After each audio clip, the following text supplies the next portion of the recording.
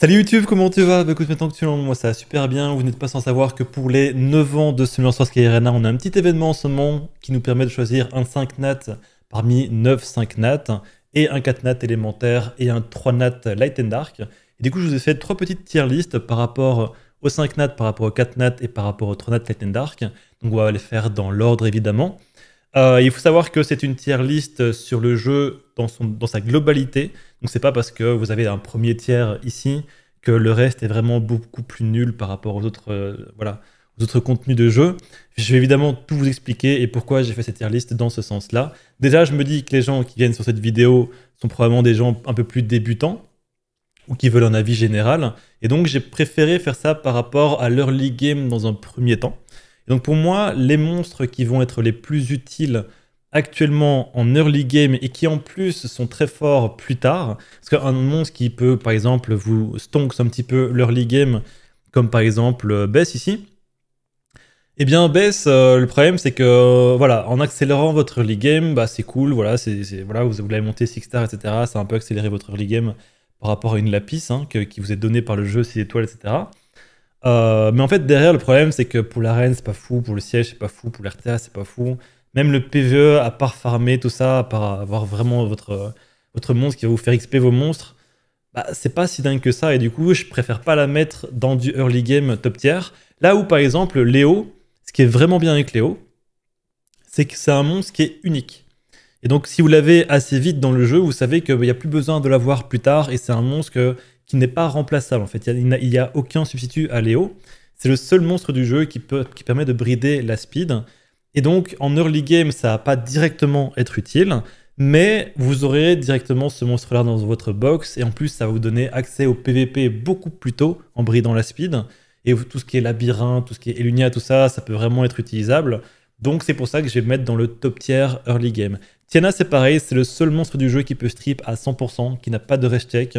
Et en plus, bah, c'est un boost ATB. Et donc strip, boost ATB, into, Galion, Nucker, en général c'est un petit peu la compo arène que beaucoup de gens font. Et c'est une compo arène qui peut se jouer lente en étant full wheel avec un petit peu de tankiness.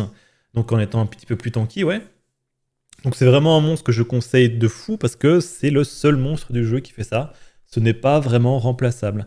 Vous pouvez potentiellement mettre du Shiwu, donc le pionnier euh, feu, celui-ci.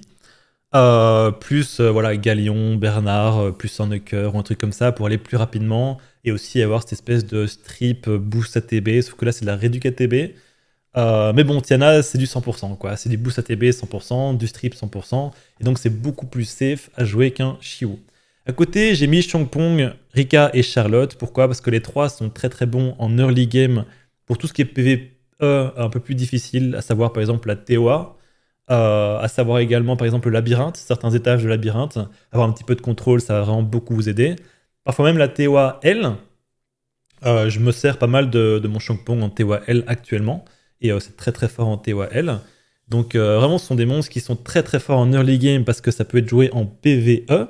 Et en plus de ça, en PVP plus tard, c'est excellent. Champong, je m'en sers beaucoup en siège. je m'en sers en arène. je m'en sers en RTA. C'est excellent en RTA. Donc la RTA, c'est l'arène en temps réel. Donc bah, c'est contre des vrais joueurs avec des, phases de draft et tout ça. Euh, donc c'est un excellent monstre dans ce genre de, cas, et c'est pour ça que je le mets très très haut dans la tier list. Rika et Charlotte également. Fengyan, ce qui est cool, c'est que c'est un monstre qui est pas très difficile à ruiner. Donc beaucoup de défense, et une fois qu'il a beaucoup de défense, euh, ça marche très bien. Il fait des bons dégâts en plus en ayant beaucoup de défense, il n'a pas besoin d'avoir beaucoup de de DCC et tout, il n'a pas besoin de tout ça. Euh, et en plus de ça, bah, il sera super tanky, et ça peut vous carrer un petit peu vos premiers stades de PVP. Euh, à savoir potentiellement même tout ce qui est Elunia, donc la première dimension à farmer. Euh, de mon point de vue, j'en ai fait des guides, etc. N'hésitez vraiment pas à aller dans le lien dans les commentaires pour voir tous les guides que j'ai fait. Je pense que j'ai à peu près tout survolé euh, sur le jeu. Donc vous, vous normalement, s'il y a un problème dans le jeu, si vous allez sur le guide, vous aurez la réponse à ce problème. Ou également, c'est l'une des meilleures immunités du jeu. Hein. c'est 3 tours d'immunité plus un shield, donc ça te rend tanky. En plus, il a un skill 2 qui fait des bons dégâts et qui peut heal. Donc c'est un très très bon monstre à avoir en early game parce que ce sera une très très bonne immunité de base. Même en PvE au début, hein, avoir un monstre qui vous protège avec un gros shield comme ça, ça peut vraiment vous rendre beaucoup plus tanky que vous ne l'êtes avec des petites runes hein, de début de game euh, qui sont pas meulées et tout ça. Donc forcément, euh, un ou ça peut beaucoup aider. Après, après ça, j'ai fait une petite tier list de catégories early game utiles. C'est-à-dire que c'est des monstres qui vont vous être utiles en early game, mais c'est pas au point d'être aussi indispensable que cela, de mon point de vue en tout cas. À savoir que soit ils sont substituables par des 4 nats, etc. Parce que voilà, par exemple, Poseidon et Verad euh, sont des monstres qui sont hauts, qui vont contrôler, réduire KTB, etc. Eh bien, vous pouvez tout simplement prendre un Tyron, Tyron qui est le Sylph haut, qui fait presque pareil, qui est en plus en lead speed, et qui est un 4 nat. Mais bon, si vous voulez dropper pendant l'event et qu'il n'y a pas grand chose d'autre intéressant à côté, ou si vous voulez dropper bah, à côté de l'event, tout simplement en early game, c'est toujours bien de savoir quels monstres sont bons en early game. Et euh, bah, clairement, ce sont des monstres qui vont beaucoup vous aider. Je me sers encore pas mal de mon Verad, je me sers beaucoup de mon Poséidon. Euh, Benus, c'est un petit peu même genre que Rika, mais euh, je trouve ça un peu moins fort en PvP de game, même si voilà, il s'est fait buff récemment, etc. C'est vraiment pas mauvais du tout. mais je, voilà, je le mettrai pas au même niveau que Rika, sachant qu'elle va beaucoup plus dot et en plus cycler sur son skill 1 potentiellement, et donc encore plus dot derrière, on va dire. plus low, tout ça, ce qui est vraiment bien pour le Tewa en early game, là où Benus, ça va être un peu plus de dégâts bruts, euh, enfin des dégâts, euh, juste des dégâts euh, de brut plutôt, on va dire ça comme ça. Mais voilà, moins tanky derrière parce que ça va moins vous protéger avec le slow et les stuns. à côté, on a Savannah qui a aussi de la réduc ATB, break dev, donc ça vous permet un petit peu à moitié contrôler, comme, un peu un Benus qui va aussi break dev plus break attack, taunt, tout ça. Sauf qu'ici, on a un buff speed qui va beaucoup vous aider à cycler derrière. Euh, Bastet, aussi, par exemple, un gros shield, hein, comme comme Wusa, ça va vous donner un vraiment gros gros shield, et donc vous rendre plus euh, tanky que vous ne l'êtes avec les runes d'early game. Et en plus de ça, c'est un buff attack et un boost ATB, et donc ça vous donne aussi accès au PvP early d'arène, par exemple avec Bastet, Bernard, Double Luchen, ça marche très très bien. C'est assez fort en early game, enfin en early game quand vous commencez l'arène plutôt. Euh, Nana, c'est très très fort aussi parce que ça vous permet en labyrinthe par exemple de gagner beaucoup de stacks, euh, en siège, c'est très fort. En arène, ça peut vraiment être utilisé clairement aussi. Euh, et donc, en fait, tout ce qui est un peu PvP early game, vous aurez accès avec Nana. En plus, c'est pas très difficile à runer. Et ça rend tous vos monstres beaucoup plus tanky grâce aux orbes de Nana.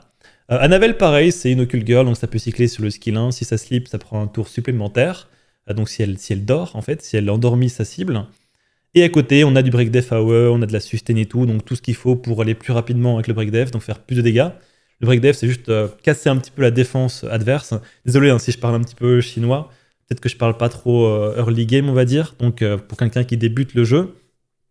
Mais j'ai fait aussi une vidéo sur bah, justement le vocabulaire de, de Gamer Summoner Soir, hein, si vous voulez un peu en apprendre un peu plus. Mais j'avoue que moi, c'est un peu ancré dans mon vocabulaire, et donc j'essaye de, faire attention, mais c'est pas simple, clairement. Euh, mais donc ouais, c'est très polyvalent, on va dire. C'est un monstre qui, qui vraiment euh, fait un petit peu de tout. Euh, et en plus, vous protège avec des soins. J'ai pas encore parlé de Ganymede, qui en gros est un monstre qui va réduire les ATB, donc les barres d'attaque en face. Et donc c'est un petit contrôle, hein, c'est un peu comme Savannah. Mais en plus de ça, il peut refresh tous les, tous les sorts de votre cible à gauche. Enfin, dans, dans vos alliés, on va dire.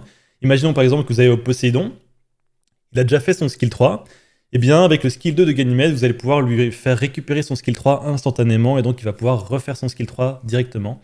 Et du coup, vous avez des combos qui sont sympas avec Poseidon qui fait son skill 3, ensuite Ganymede qui le refresh, du coup Poseidon peut, refaire son skill 3. Une fois que les, monstres vont commencer à jouer, ben, Ganymede a son skill 3 pour réduire les ATB, et à ce moment-là, bah, Poseidon peut encore euh, faire son skill 2 et récupérer limite son skill 3 aussi euh, pendant ce temps-là. Et donc, euh, voilà, c'est beaucoup, beaucoup de réduc ATB, c'est beaucoup joué en TOA, etc. Souvent en TOA L également. Jamir, c'est un petit peu dans le même style, c'est-à-dire qu'il a un refresh, mais sur tous les monstres de la, de la team. C'est pas un mono-cible, sauf que lui, il n'a pas ce réduc ATB que Ganymede a.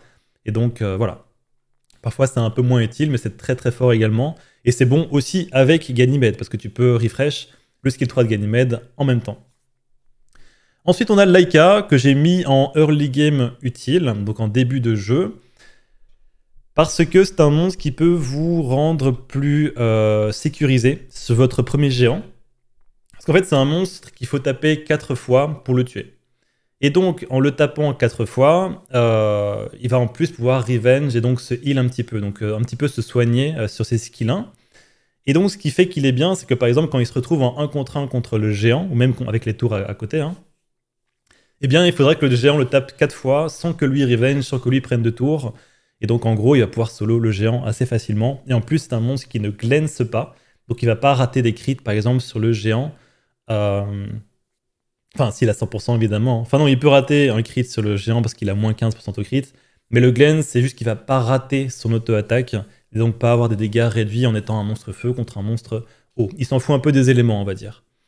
Ensuite, j'ai fait un petit tiers euh, top tiers, mais plutôt avancé. Donc ça, c'est plutôt des monstres que vous n'allez pas vraiment pouvoir jouer directement, parce que ce sera des monstres que vous allez jouer un peu plus tard. Et en même temps, qui sont assez euh, polyvalents, parce que j'ai aussi fait des tiers listes pour les monstres qui sont vraiment spécifiques dans ces terrains-là. Mais là, comme c'est un peu plus polyvalent, ça peut jouer dans plusieurs terrains, je me suis dit autant faire un tiers euh, pour vraiment que vous ayez euh, en tête que ce sont des monstres qui sont très très polyvalents, que vous allez pouvoir les jouer dans plein de contenus différents. Et donc c'est plutôt sympathique. Camilla, donc elle, en tout premier, c'est un monstre, la Valkyrie O, qui peut être joué en défense arène. C'est excellent en défense arène. Et c'est également fort en RTA. C'est un très bon monstre qui, vient de se faire buff en plus. Et qui permet, de, avec des, drafts très tanky, on va dire, euh, de, bien gérer ce genre de compo. Molong également, c'est très bon en RTA, donc en arène en temps réel. C'est également beaucoup joué en siège, pour le coup. Euh, Bolverk, c'est pareil, c'est bien avec Molong. Hein. c'est vraiment bien joué avec Molong. Ça peut vraiment jouer en, que ce soit en siège, en RTA. C'est même jouable en, en TOA, parce qu'il y a des teams avec Bolverk plus beaucoup de buffs qui permettent d'avoir beaucoup de sustain et beaucoup de dégâts avec votre Bolverk, qui en gros, à chaque fois qu'il y a des buffs qui vont apparaître en face, ou si on lui en donne, euh, il va prendre un petit stack. Et à 5 stacks, il pourra faire 50% des HP de l'ennemi, euh, plus se soigner des HP qu'il a retirés. du coup, ce qui est bien, c'est qu'en TOA, vu que les monstres ont beaucoup d'HP, eh bien, il fait beaucoup de dégâts. Et en plus, il se soigne d'énormément. En fait, il met toute ta team full life euh, à chaque fois qu'il a 5 stacks. Donc c'est plutôt sympa. Kernal, c'est un très bon lead HP, 44% lead HP. Et donc ça vous rend très tanky pour les défenses arènes.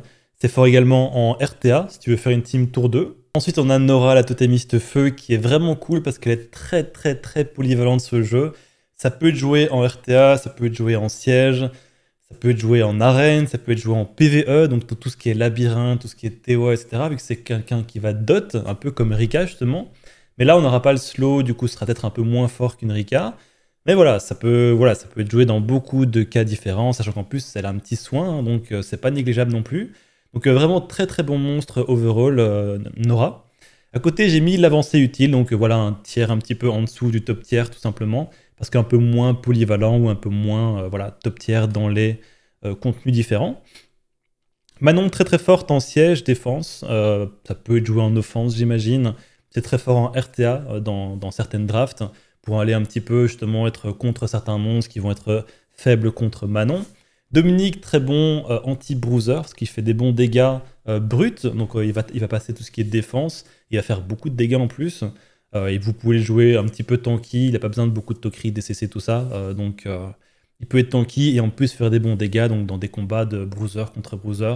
Donc en gros, des tanks contre des tanks qui font un petit peu de dégâts. Dominique est excellent. Samat et Triton, très très bon en défense arène.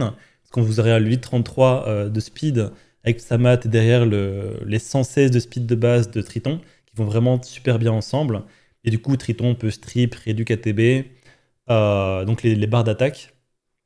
Et derrière, avoir un contrôle ou autre qui puisse euh, avoir le, champ libre.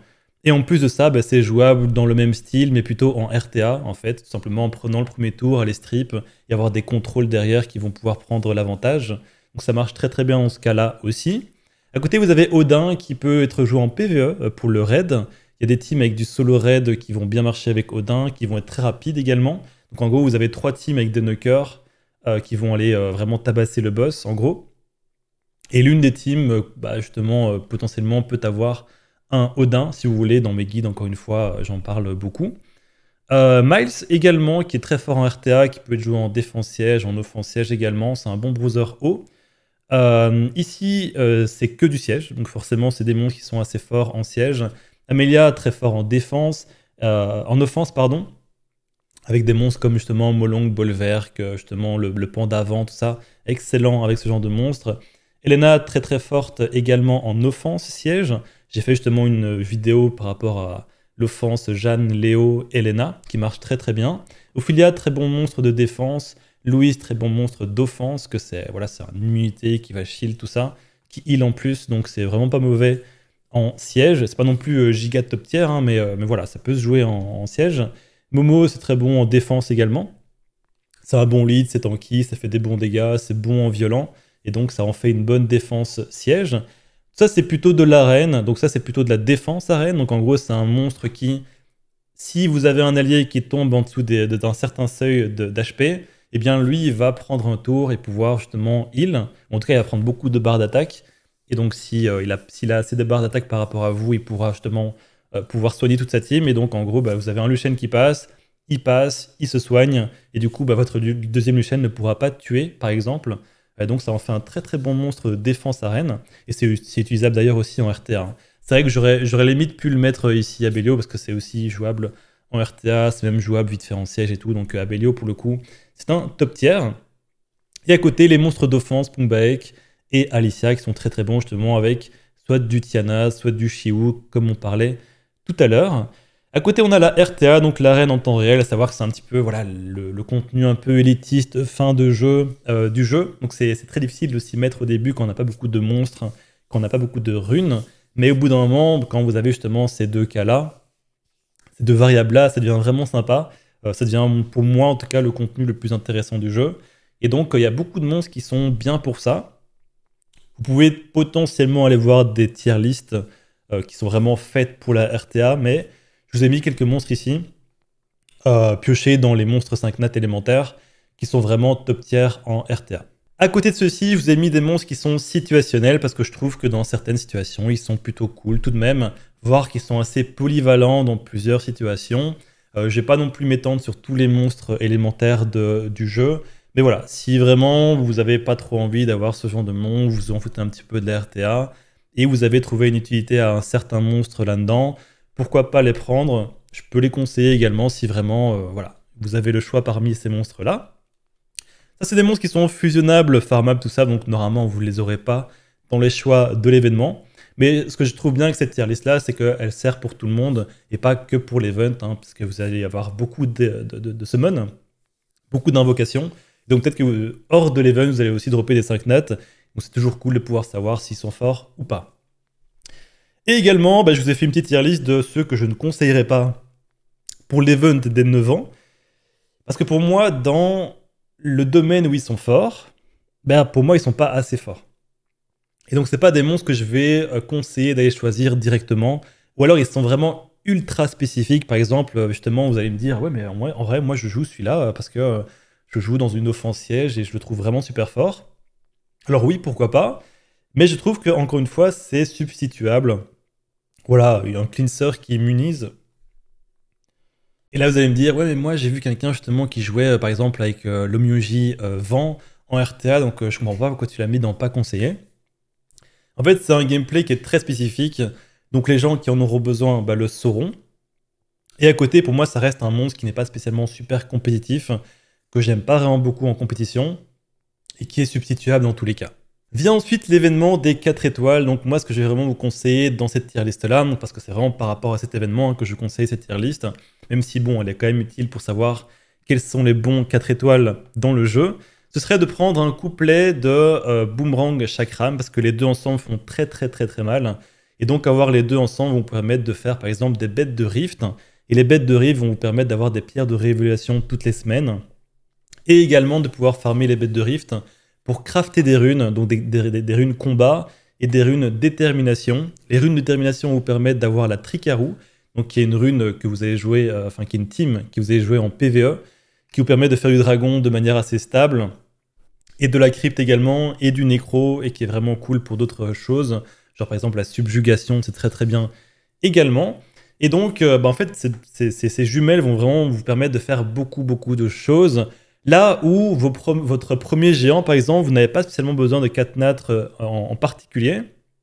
Votre premier dragon non plus, si ce n'est euh, potentiellement Tyron. Tyron, c'est vraiment cool en tant que premier 4 pour le dragon, parce qu'il y a une team qui est vraiment cool avec qui se compose de Tyron, Lorraine, Verdé, Spectra et Veromos de mémoire.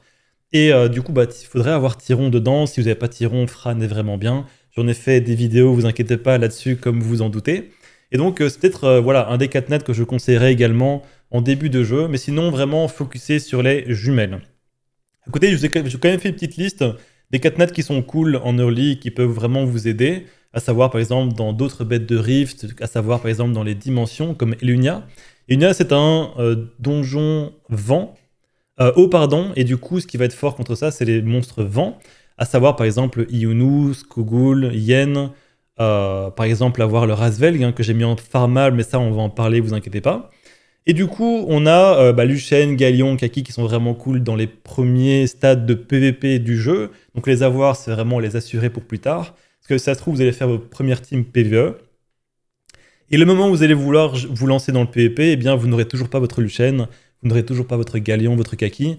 Et c'est forcément un petit peu chiant. Donc euh, voilà, c'est peut-être des monstres que je vais vous conseiller d'aller sniper. Si vous avez déjà de quoi faire au niveau des conseillers, évidemment. Astar vous permet de faire la Tricaru Astar, donc qui est très très forte en Nécropolis.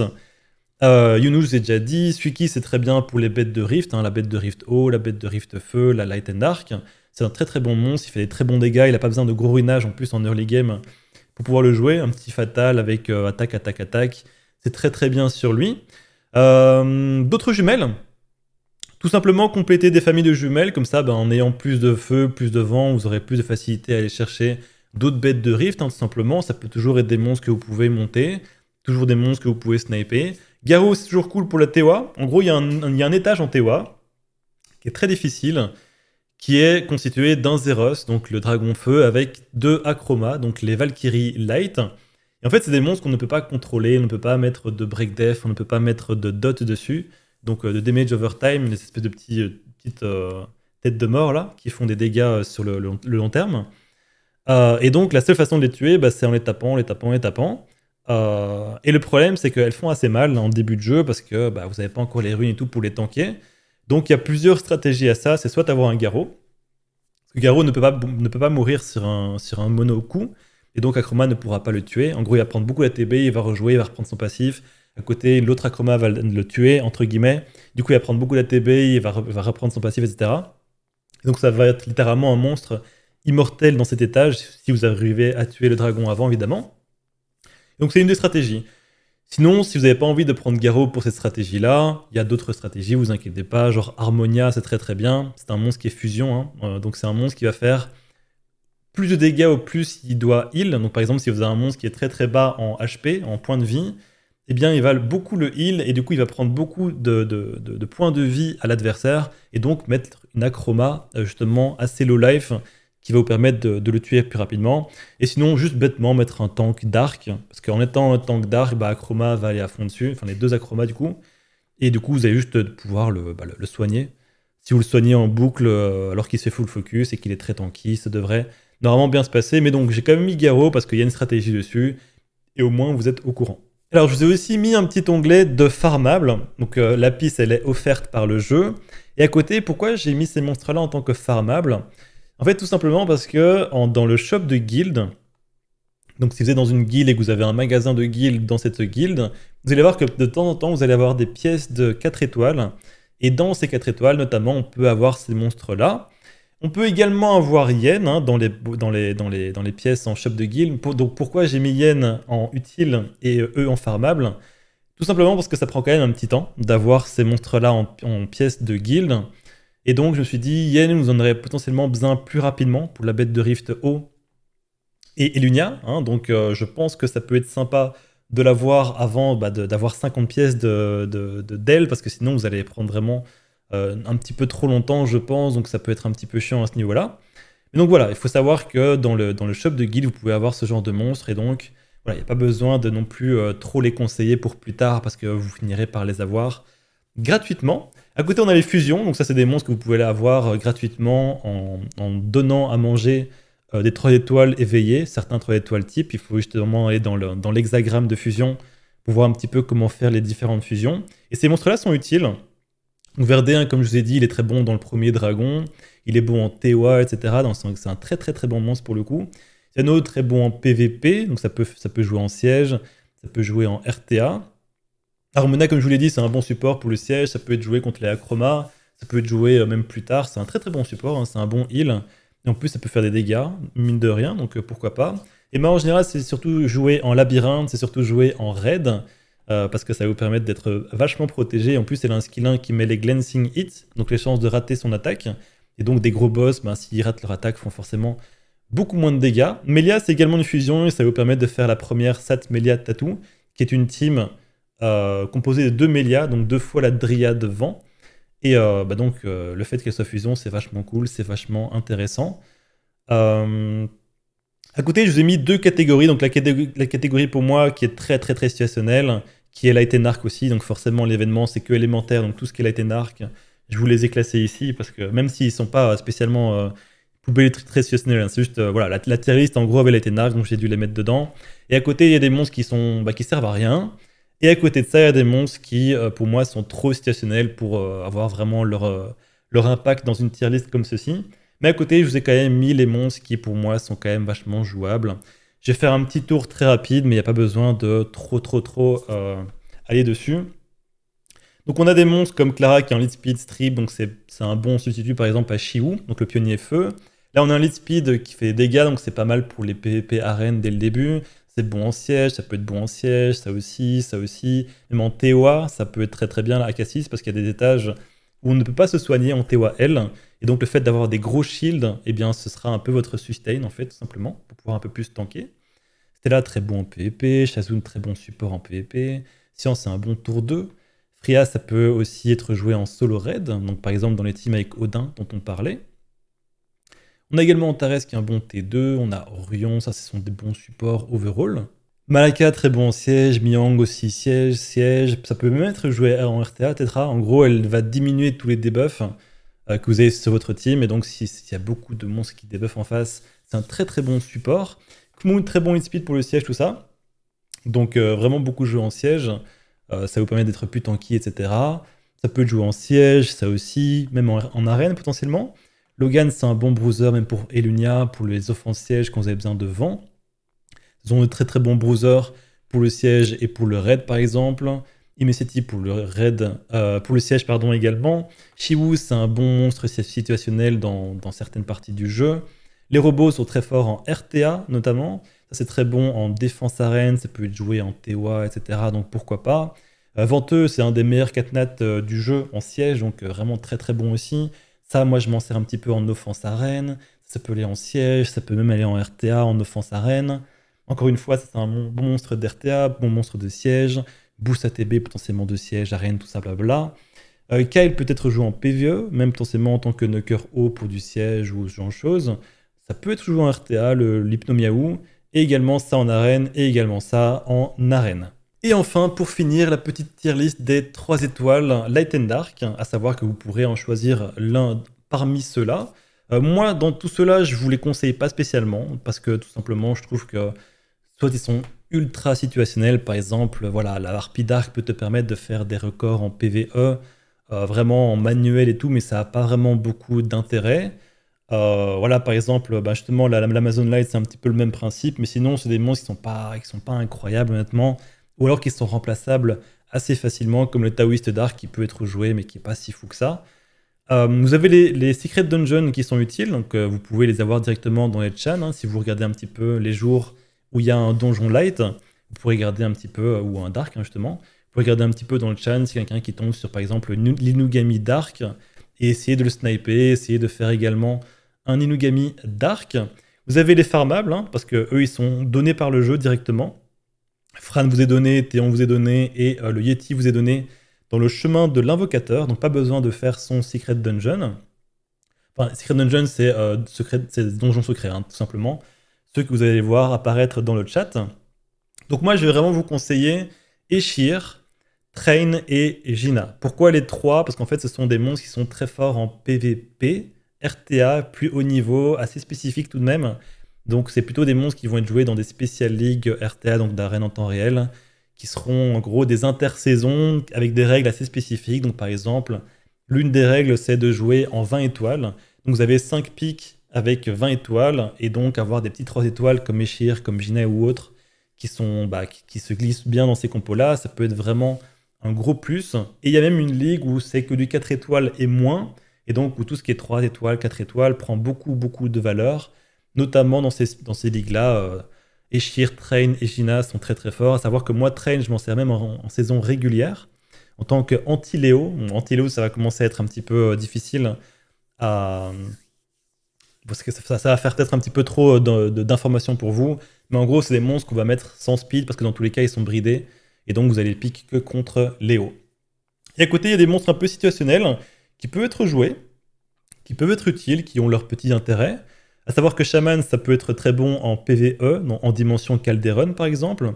Ça peut être bon pour aller taper des boss dark, parce que justement dans Calderon c'est un boss dark, mais ça peut être un boss dark par exemple en TOA L, parce que Shaman va faire énormément de dégâts sur les, bons, sur les, boss dark. pardon. Euh, Grogo c'est un très très bon tank light pour le siège. Jultan, très très bon tank dark pour le siège. Et ça peut justement être votre tank dark qui va aller tanker les Achroma au TOA 67, comme on parlait justement tout à l'heure avec euh, le Garo. Shren, c'est un bon monstre qui va faire un petit peu euh, un rôle un peu support, mais qui a un gros skill 2 qui peut faire des gros dégâts. Donc euh, pourquoi pas la ruiner pour du siège par exemple, ça peut toujours être utile et donc ça peut être bien à avoir si vous n'avez toujours pas. Croix, c'est très situationnel, c'est aussi en général plutôt joué en Special League, 20 étoiles, 4 étoiles à savoir. Et sinon, parfois, j'en ai déjà croisé un petit peu en régulière, mais c'est quand même assez rare. Mio, c'est un monstre qui ne peut pas mourir sur un crit. Et donc en siège, si vous avez une offense siège, euh, a une défense siège justement qui a beaucoup de crits, par exemple un lead Théomars avec un Perna, etc. C'est en général des monstres qui ont 100% au crit avec les leads, etc. Eh bien, vous savez que Mio, donc le chat d'arc, ne pourra pas mourir en fait de ça, en étant évidemment deuxième EE qu'un derrière. Donc double éveil, ça c'est peut-être pour plus tard aussi. Euh, et donc ça peut être sympa à voir dans sa box si vous ne l'avez toujours pas. Et Kabila également, c'est un peu comme Croix, c'est un peu la même utilité, c'est deux monstres qui sont très rapides de base et qui peuvent vous permettre de prendre le premier tour en RTA. Et donc voilà, c'est la fin de cette vidéo, j'espère qu'elle vous aura plu, j'espère qu'elle vous aura aidé. Si c'est le cas, n'hésitez vraiment pas à vous abonner à la chaîne, ça prend un petit clic et ça peut beaucoup m'aider euh, pour tout ce qui est référencement, tout ça, tout ça. N'hésitez pas à mettre un petit commentaire, un petit like, ce genre de choses, vous connaissez. Euh, et écoutez, on va se retrouver dans d'autres vidéos. N'hésitez vraiment pas à consulter mon guide également que je mettrai dans les commentaires, peut-être en description également. Donc si vous le consultez, vous allez, voir qu'il y a plein, plein, plein, plein, plein de guides sur un peu tous les aspects du jeu. N'hésitez pas également à me dire dans les commentaires s'il y a justement un aspect du jeu avec lequel vous avez un petit peu de mal, par exemple si vous commencez, si vous débutez, et que c'est pas justement dans ce guide-là. J'hésiterai pas à en faire une petite vidéo si c'est le cas. Et du coup, bonne chance dans le jeu à ceux qui commencent et bon retour à ceux qui reviennent sur le jeu. Ciao